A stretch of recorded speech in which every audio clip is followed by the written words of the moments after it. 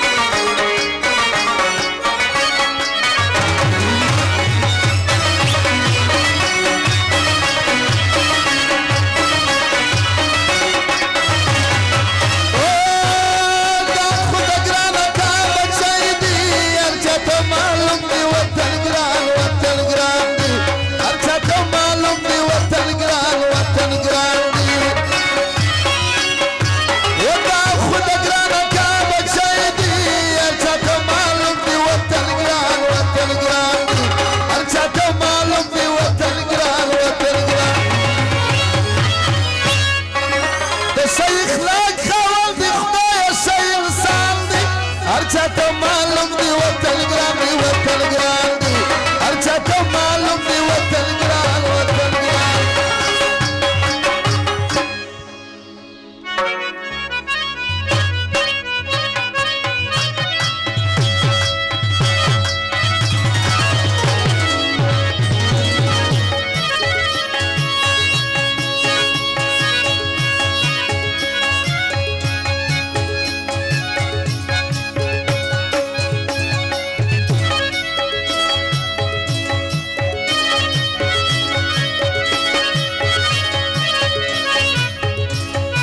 صفر الصلاة دغه فرمایش دی